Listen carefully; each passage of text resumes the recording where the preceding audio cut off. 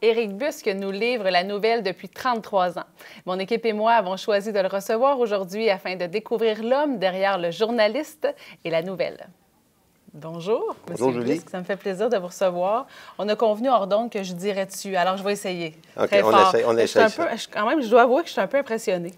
Euh, ouais, euh, le parcours, euh, l'implication sociale, tout ça, c'est important pour moi de parler de tous ces volets-là.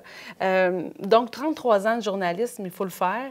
Comment vous êtes arrivé, comment, ouais, on va dire vous, comment vous êtes arrivé euh, à décider de- d'adopter ce métier-là?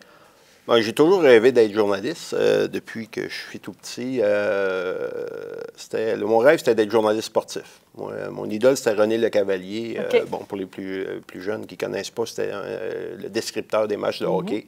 Puis, bon, j'aimais beaucoup le sport, le, le hockey, les, les Canadiens, la Ligue nationale de hockey, les cartes de hockey. Je connaissais tous les joueurs. Puis, je me disais un jour, je vais être journaliste. Et mon frère, plus vieux que moi, qui a six ans plus vieux que moi, euh, a été journaliste. Et est encore journaliste d'ailleurs.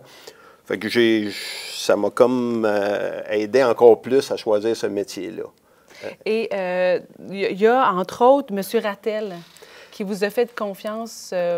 Euh, mon, arrivée à Saint-Agathe, c'est un peu spécial. C'est que moi, j'étudiais au Collège Algonquin, Ottawa, qui est un collège de technique de journalisme écrit et électronique. Puis euh, Michel Desbiens, qui était à l'Information du Nord à l'époque, a appelé au mois de mars. Il restait quelques mois de cours pour demander un journaliste. Et bon, euh, le prof euh, m'a demandé si je voulais aller à Saint-Agathe. Je ne savais même pas c'est où. Euh, J'ai dit oui, oui, j'y vais. Euh, il dit, je vais te créditer tes cours, puis tu pars, tu Wow. commences lundi. On était comme le jeudi. wow. Fait que j'ai appelé mon père, j'ai dit ça me prend un auto, je m'en vais travailler dans les Laurentides.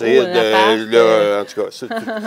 Puis c'est de même que j'ai commencé. Finalement, euh, bon, l'Information du Nord a fermé un de ses journaux, un de ses journaux à Sainte-Adèle.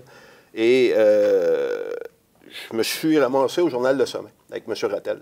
M. Rattel, qui est un légendaire personnage de Sainte-Agathe, qui était propriétaire du journal. Et bon, m'a engagé officiellement. C'était euh, vraiment ma pre- mon premier emploi, c'était avec le Journal Le Sommet, qui a été vendu à Québécois par la suite, tout comme euh, l'Information du Nord, parce que les deux journaux étaient en compétition à l'époque.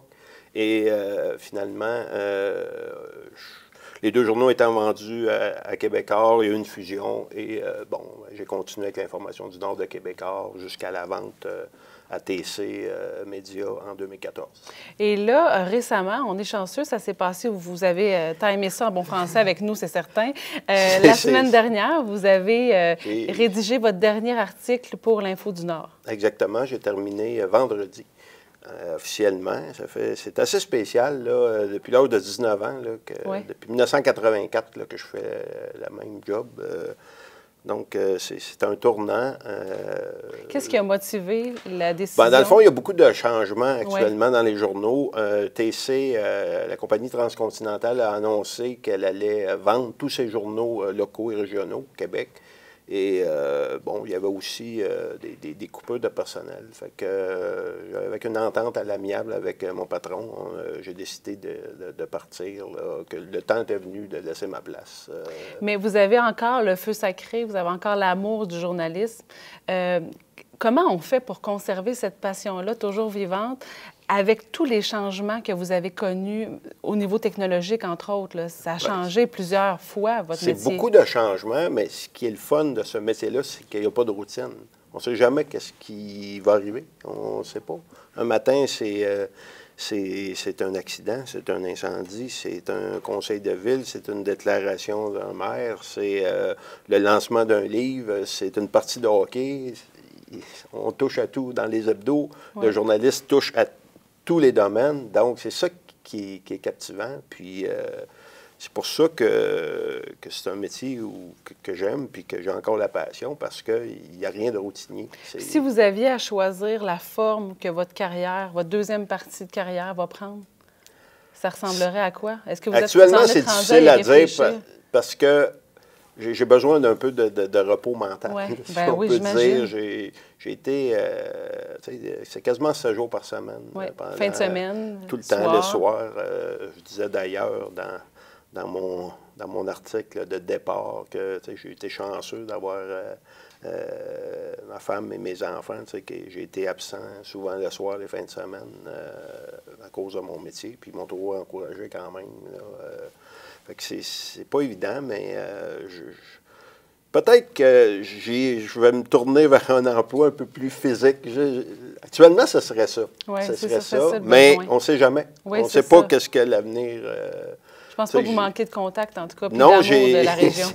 c'est, drôle à dire, mais j'ai eu plusieurs téléphones depuis déjà. Mais euh, pour l'instant, euh, je, suis, je suis en pause. Bien, en tout cas, on souhaite la pause euh, inspirante pour la suite.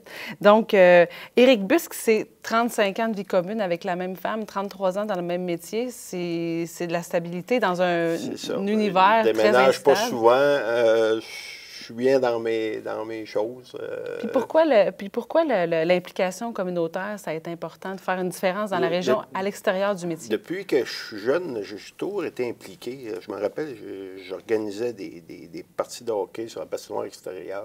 J'organisais des tournois de balles. J'avais 11, 10, 11, 12 ans, 13 ans. Puis ça a continué. Puis euh, j'ai été chanceux euh, que les gens m'accueillent bien, tu sais, dans les Laurentides, à Sainte-Agathe, à Mont-Tremblant, partout toi, tu bien accueilli. Puis euh, je, pense qu'il faut aussi, euh, tu sais, on est chanceux d'être euh, des personnes impliquées, puis tout ça. Il faut redonner. Puis ça m'a fait plaisir de le faire parce que c'était pas c'était pas ardu pour moi de m'impliquer dans différentes causes. D'ailleurs, j'ai prêté mon nom à plusieurs organisations aussi. J'ai été président d'honneur de tournoi de golf c'est pas des, c'était pas des grosses euh, des grosses implications, mais euh, ça me faisait plaisir. Ça, pouvait aider. Ça pouvait exactement, parce qu'on ramasse toujours des fonds à ce moment-là pour euh, des jeunes en difficulté, pour pour les les, enfants malades, pour euh, les maladies du cœur, pour euh, la, société du cancer, peu importe, il y a tellement de, causes qui nous touchent. Et euh, ce qui vous touche aussi, c'est l'amour du sport, vous l'avez dit au début. Il nous reste deux petites minutes, il faut absolument en parler. Ça, va, vite. pour une vie quand même. Il faut essayer de courir une vie en huit minutes pour le faire. Alors, il y a le hockey, il y a le golf. Qu'est-ce que, qu'est-ce que ça vous apporte dans cette vie que vous avez? C'est ça qui me donne un équilibre. C'est euh, bon, j'ai, dans la vie, euh, tout n'est pas toujours rose. J'ai eu des hauts et des bas, euh, mes amis le savent. Mais le sport m'a toujours permis d'atteindre l'équilibre. Le hockey l'hiver, le golf l'été, c'est, deux passions. Puis rien n'a changé. je me suis fait opérer pour les deux hanches artificielles, mais j'ai continué à jouer au hockey parce que j'aime ça. Puis c'est le fun. Puis ça, ça on peut tisser des liens aussi avec euh, des gens. Puis le golf, ben, l'été, c'est plein air, c'est vraiment euh, un beau sport. J'aime ça. Puis là, il nous reste une petite minute. Vous dites quoi à tous les gens qui sont, euh, qui sont extrêmement reconnaissants pour le travail que vous avez fait, qui ont hâte de savoir ce que vous allez devenir, ce que vous allez faire? Qu'est-ce ben, que vous avez envie Moi, la reconnaissance, c'est plutôt aux gens que je la donne parce que les gens m'ont vraiment appuyé. J'ai été respecté. J'ai eu beaucoup de respect des gens euh, partout où j'ai travaillé, dans tous les domaines. Euh, les maires, les, responsables d'organismes, euh, le, citoyen ordinaire. Essayé de, traiter tout le monde sur le même pied. Puis on me l'a redonné parce qu'on m'a toujours fait confiance. Puis j'ai toujours été très bien respecté dans le milieu. Alors, merci beaucoup d'avoir euh, rapporté la nouvelle pendant ces 33 années. Ça me fait plaisir. Puis, euh, on, va se revoir, on, va se revoir, éventuellement. On ne sait pas dans, dans quel domaine. On ne sait pas comment, mais c'est le fun de se donner le privilège de prendre le temps. Je suis encore là, puis euh, vous allez ah me voir tout l'été. Avec deux anges artificiels, mais en forme. C'est ça. c'est ce qu'on a appris. Merci beaucoup Merci. Merci. Vous aimez nos entrevues et reportages? Je vous invite à aimer la page Facebook Cogeco TV Laurentide.